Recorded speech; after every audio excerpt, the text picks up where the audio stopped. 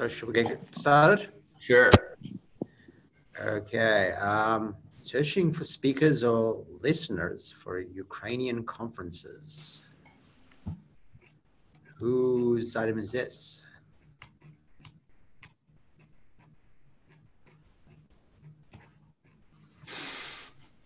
Uh, okay, maybe they'll join later. Uh, we can get back to this. Uh, Kafka support status? Whose item is this? Someone asked on the. Uh, that's me, uh, Greg Hansen. Uh, I work with uh, IBM and Istio. Yep. Um, and just we're trying to integrate with a Kafka deployment that is limited to uh, SASL SSL for uh, the authentication. And in our attempts to communicate uh, through Envoy to like a broker for sending and receiving messages, uh, we're getting a HPE invalid method in the Envoy access logs. And I was wondering if that was related to any of the work that's ongoing with the Kafka support. I know there's a pull request and an item tracking the work. Yeah, there's uh, there's no Kafka support in Envoy today. So there's no SASL support. There's there's nothing. Um, Okay. So uh, you know, if that's interesting to you, I would I would recommend hop, hopping in and potentially helping out. Um, I think we have a good plan forward um, uh, of how to how to move that PR forward. I don't know what the timeline and status is, but uh, we're at the point now where we've gone through a bunch of iterations. Uh, the Kafka folks have nicely just uh, they they have like a JSON version of their protocol so that we can auto generate the various classes. So so things are better now. Um, so I'm hoping in the next month or so we can get something basic merged there. I don't know that that's going to do SASL though, so someone would have to come in and do that later. Okay. Well, no, that's great. Uh, it just means that, yeah, that's the PR that I should be watching and uh, possibly the, the person I should be badgering uh, regarding uh, SASL support. But no, thanks. That's uh, that answers my question. So Okay, cool. And if it's an HPE error, does that mean they may have accidentally configured HTTP one? Uh, Um, yeah, that is the the one error that I'm seeing is dispatch error, HTTP 1.1 protocol error, HPE invalid method. hmm. Okay, Uh, and the app, when I'm trying to attempt to uh, connect through Envoy, I'm getting a basically a response of unknown protocol for SASL underscore SSL. okay, yeah, no, Yeah, that- I mean that's that's because we just don't. I mean, we just don't support it. So Yeah. you'll you'll have to either use raw TCP to go through Envoy, um, or someone will have to come in and implement SASL support. Okay. Yeah, uh, hi, this is Lynn. Uh, the reason we are kind of uh, asking this is uh, it's interesting. We actually find a, a blog, uh, probably more than one blog out there that people actually using um, GKE and then they were using uh, Kafka. I think they were using Confluent as an example. So they were able to create service entry to access uh, Confluent, which runs outside of the mesh, and then use service entry and I believe they were using TLS protocol um, as part of their service entry. So I was so uh, we we know uh, Envoy doesn't support SASL, but I, I guess we were trying to understand what if we config um, to use uh, TLS to access uh, Kafka, which is external of the mesh. Uh, would Envoy just to allow the communication? Uh, why would people actually get it working on the blog? So those are the questions we have. We understand you won't get any of the intelligent like routing or logging metrics feature of Envoy, but Envoy- basic connectivity. Envoy can TCP proxy. Right. Um, here, uh, I would recommend um, if there's Kafka questions, like I, I don't know that anyone on this call is going to have more info than what we just said, but I'm happy to start a communication with people at Confluent. So if, if you want to know more, could you just send me an email um, and I can I can introduce you to people at Confluent. Yeah, that would be great. Maybe reach out to you on Twitter. Would that be the best way, Matt? Uh, or my email, mklein at lyft.com. That'd be good. Okay, and then uh, just to make sure we, uh, so you said if we access through TCP and uh, uh, TLS, that would be okay, just nothing specific to the SASL protocol, right? Right. Yeah. Okay, thanks. Okay, uh, next issue. Um, this is one that Lizan said we might want to discuss. I don't know if he's on the call. Yeah, he is. Um, we need to uh, bump um, our use of AutoConf uh, to fix some snafu, which is as a result of this layering of technical debt, which comes from this CMake external stuff. Um, basically, we're trying to pass down flags for things like sanitizers in the environment, which have actually, now that we're doing that, they've started to actually cause external dependencies to build with sanitizers, which is a good thing, you would think, but turns out some of the auto tools, AutoConf stuff doesn't work very well with um, ASAN, at least with earlier versions. And so we need to bump this. And then that's led us down the rabbit hole of do we do this uh, by bumping the CI image? Do we generate just the configure script and um, and just check that in? And maybe it sounds like if we don't want to bump to 1804, we should just generate the configure script. And I think that will fix it, assuming that uh, there's no other, um, assuming it's in the actual generation that the bug was fixed, then I think that's all good. So, well, I, I don't have the full track of where AutoConf is used. Is that only gperf tools? Uh, probably. I mean, like we're now down to like But- two uh, build recipes. There's LuaJIT and gperf tools, and LuaJIT is its own weird make monstrosity. So I think it's Yeah. just gperf tools. Okay, then G, gperf tools. Um, so we recently bumped gperf tools to some master commit instead of release 2.7 to support the PPC um, architecture. I think that by Chris, uh, Christopher. I think. hmm Um, Yep. So that one doesn't. So the master commit doesn't have generated configure script, so we have to run autoconf uh, fro- since that PR. I see. So that was a new introduction, and we didn't used to do that. Yeah, we didn't used to do that when wa- when we were on the released version. And is so just to get- you know, my, I think- model is that AutoConf generates the configure script.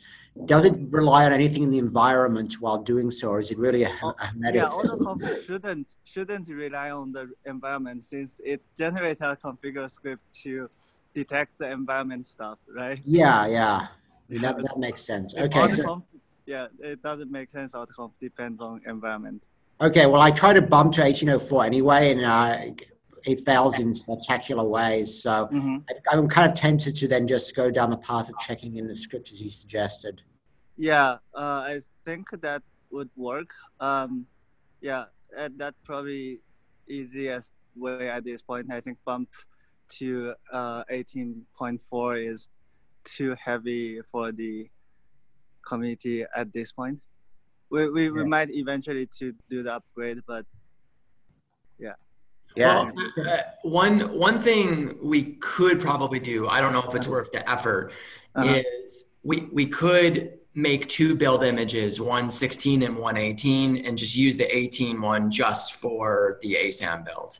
Um, and that, you know, I, I'm not sure that that's worth it. The other thing that uh, uh, occurred to me, and I mean, wouldn't it be less effort just to make gperf tools work with Bazel?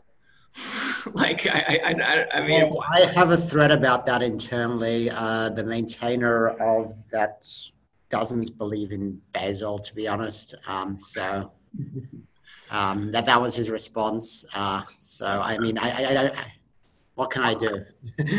don't, don't don't you i mean don't you have some like google camp that you can send this person to that that can like fix him uh, or something i don't know that, that's not the way things work at Google. People disagree; they just disagree. It turns out. Is that a gulag joke, Matt? yes yes exactly. Can we not just add a Bazel, like a build file for them? Uh, John Miller didn't try to write that, and he said it, it, defied even his skills, and he's like a Bazel Ninja, so I'm not tempted to try and do it. Okay, that, that, that, that's fine. I, Yeah. Uh, Harvey, did you get any uh, answer to like when there would be an actual release of gperf tools, like soonish? I don't know if I asked that one. I, I, I Yeah, It's been almost a year uh, since the last one.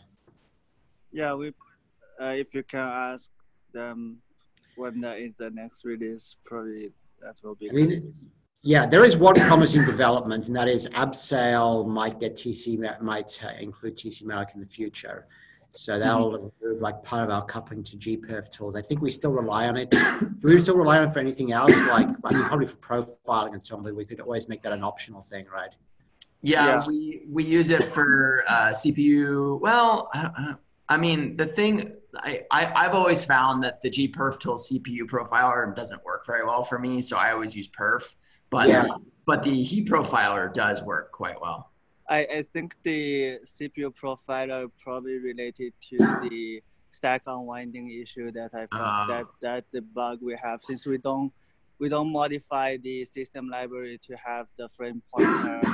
We don't do that, but the enable frame pointer ex- expects you have the all I see. Got dependency to down to libc have frame pointer enabled. Got it. Yeah. Yeah, I mean, it's mostly I just never looked into it because perf works so well that I Mhm. Yeah. I don't I don't see the point. Yeah. Okay. Um, cool. So I think that we, we know where to go with that one. Um, uh, Envoy usage platform survey. Um, yeah, so you know, we we keep talking about things like can we update to Ubuntu 18 or uh, like Mhm. can we move to C++ 17? So one thing that occurred to me uh, is maybe you know every six months or something like that we could send out some type of survey just to understand you know what what OSs are people deploying on? What compilers do they have access to? We could ask them like do you have access to a version of GCC or Clang greater than X? Um, Mm. and, and I feel like that would help us make much more educated decisions about can we drop X compiler? Because right now I, I think we have absolutely no idea about what we can do. Fair. That, that, that's good, although, uh, you know, how do we get people to actually respond? but yeah. No, we can. I, I mean, but but I, I don't know. Like, as long as the usage was anonymized and we don't ask for Yeah, yeah. access, like like where they work or whatever. Um, I mean, we can just send it to Envoy announce and Envoy users, and yeah, it won't be perfect, but it's probably better than nothing. Yeah. I, I- I bet you when you said if you if you had CNCF drive it and they have like social media and like they can like repeatedly. Yeah, yeah. I mean, like we can do social media. We can send it out on the We'll, email. we'll do the nagging so that we don't have to do it. Yeah.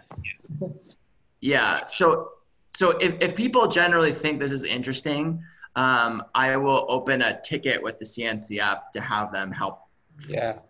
Chris Figure just this said, out. uh, Chris just said CNCF can do that. Um, if you know we have Chris on the call, maybe we can discuss the uh, Envoy certification thing as well. Well, do you quickly want to talk who put the C 17 thing in there? That was us. That was us. Oh. That- that- that's less pressing. Are you are you already able to do C 17? Is no, that but it's coming soon. Yeah. Yeah, it's it's imminent, probably sometime in the next year. I mean, realistically, it's probably a few months off. Yeah. Yeah, I mean, if we could actually move to 17, I'm not sure that we can. Having access to standard file system would be pretty nice. Yeah.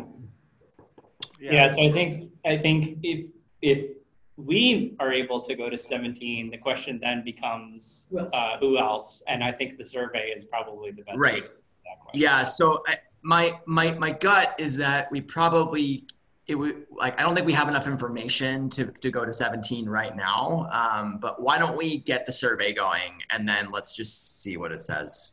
Yeah. Cool. Right. Yeah. Okay. This probably means we can remove all the string hacks because that's happening. Oh, oh, that's in the same. Really? Yes. Wow, that made me really happy. Yeah, That's- that's. They are linked.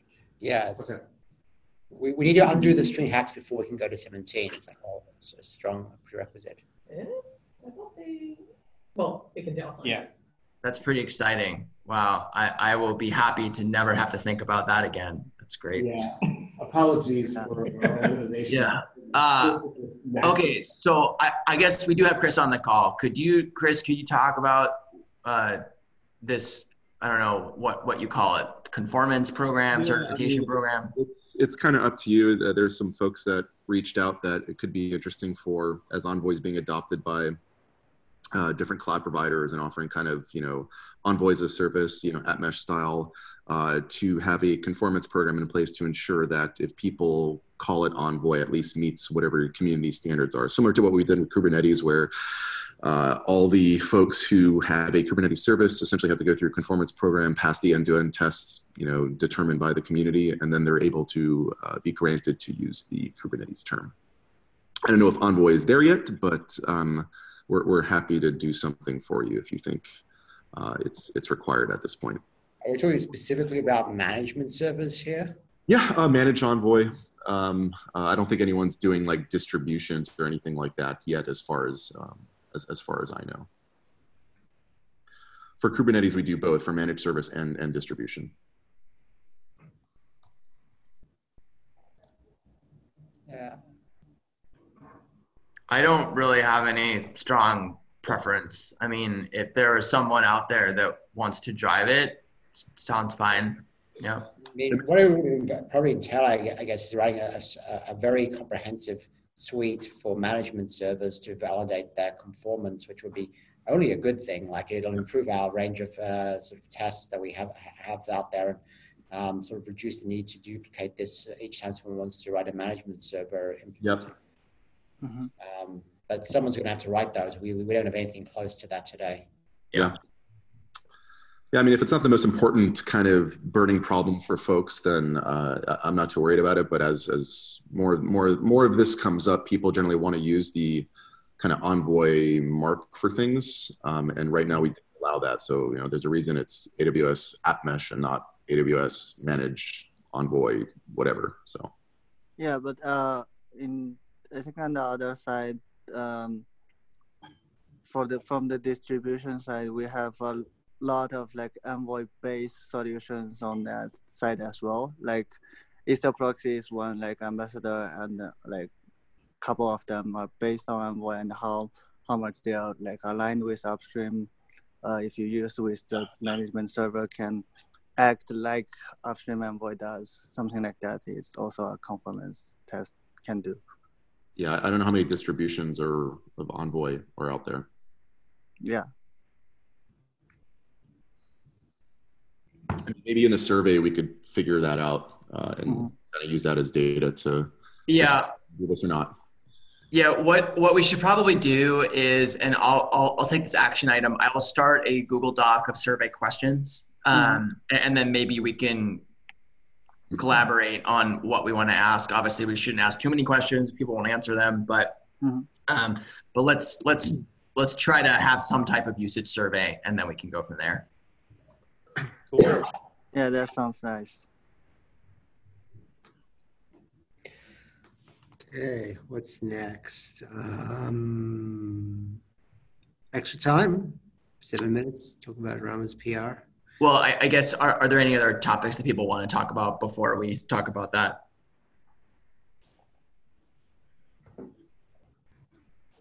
Um, actually, I just have a quick question about uh, the caching spec that we introduced a couple of weeks ago, where um, you know we've gotten a lot of really good feedback on the doc, and I wonder if like is there a established process for kind of saying this is this proposal looks acceptable and we should start sending PRs that actually provide the infrastructure?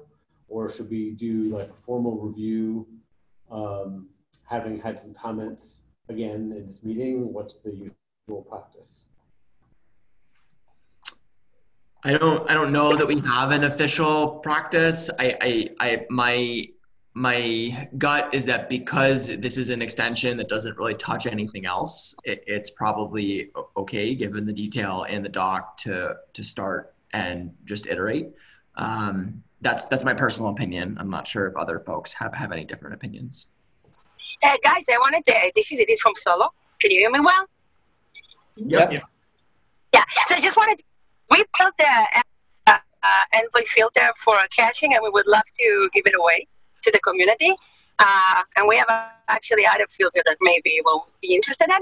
So just let us know what we can do or how we can, we can help. We also filter and transformation filter, optimization, and others. So if you, we would like to work with you guys. Uh, great. Um, we, you and I have been uh, kind of uh, attempting to sync up. Let's Me. try to do that Right. next Okay. week. I'm about to I'm about to head to California for a few days, but I'll, uh, uh, why, why don't we set for next week? Yep. Yeah, that sounds good. We're both in Cambridge. It just makes a lot of sense. I was gonna say you all work in the same place. Should be very, very, very, very That's easy. the yeah. Fantastic. Cool. Um, Sorry, I will say that we have quite a lot of customers, so we would love to share if you need any help about how people are running it with us. We would love to share that. Uh, that'd be great. I'll set something up and also invite Todd, who's on the West Coast, to join us by video. Fantastic.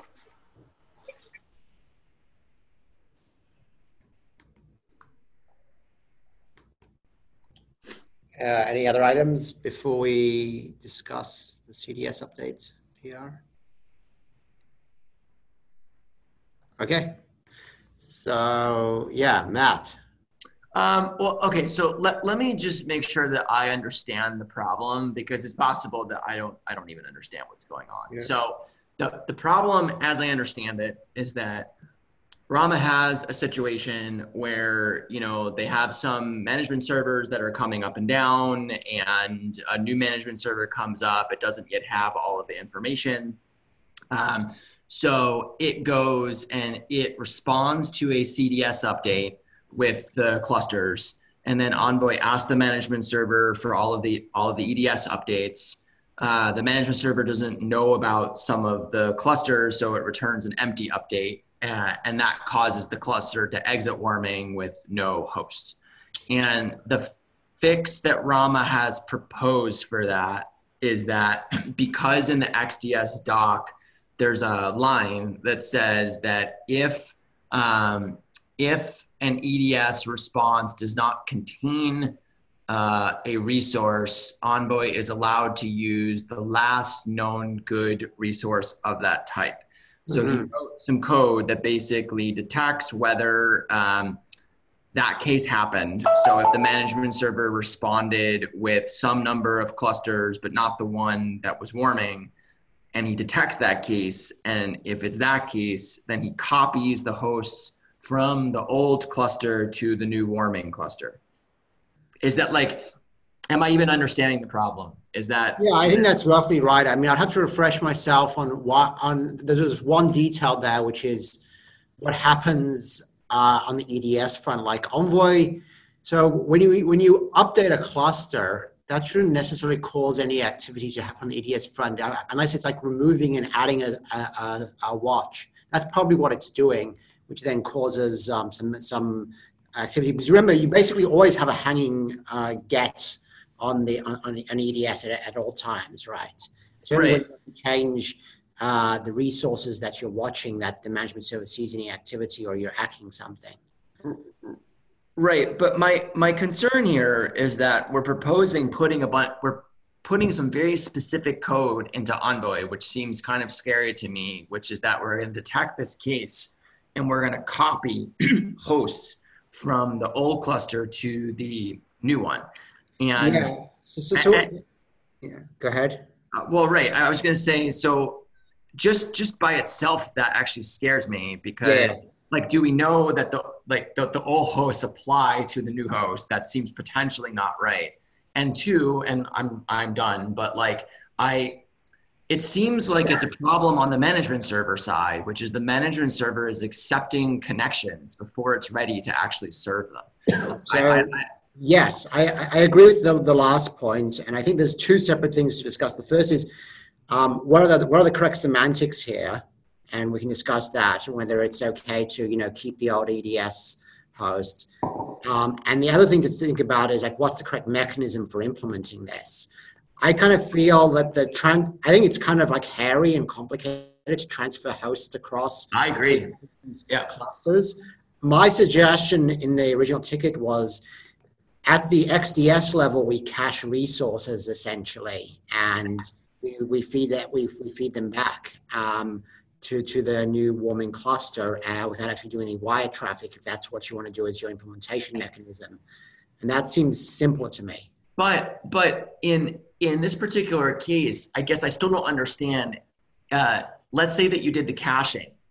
How would you even detect the caching? Because if the cluster config changes, let's say someone changes some TLS setting or like something else, yes. how can you guarantee that that it's the same hosts? Like I, I guess I, I just don't fundamentally don't understand how. If so, so, so the, okay, so the now, now we're, getting, we, we're getting into the semantics. I mean, I think you know from a mechanism point of view, what you do is you just keep the last known um, set of hosts for that cluster and you feed it back. Um, uh, where when uh, it, it, the cluster comes back up and you know there's only been a, an update. So uh, I don't think that's the issue. So the issue is like, is it safe to feature you to reuse the same hosts across a cluster update? And I think that the, the, a good example is switching from HTTP to HTTPS or back. And then it comes down to, I think, do you care about eventual consistency or strong consistency? Because if it's eventual consistency, the management server should be sending a host update anyway. like it, just, it should be doing a push based one. So let's right. say we switch from HTTP to HTTPS, you should get a CDS update. And then immediately after that, you should get um, a right. ES update for the management server. And that will override anything that you've cached or served uh, uh, up, up in that way, right? Hey, sorry, we're getting kicked out of the room. I'm just going to go out in, into the hall. Yeah. we'll probably get kicked out in a sec. Um, so I, I, think this is a, we, we, may want to actually have a separate meeting about this. Okay. Um, um, why don't we? It, yeah.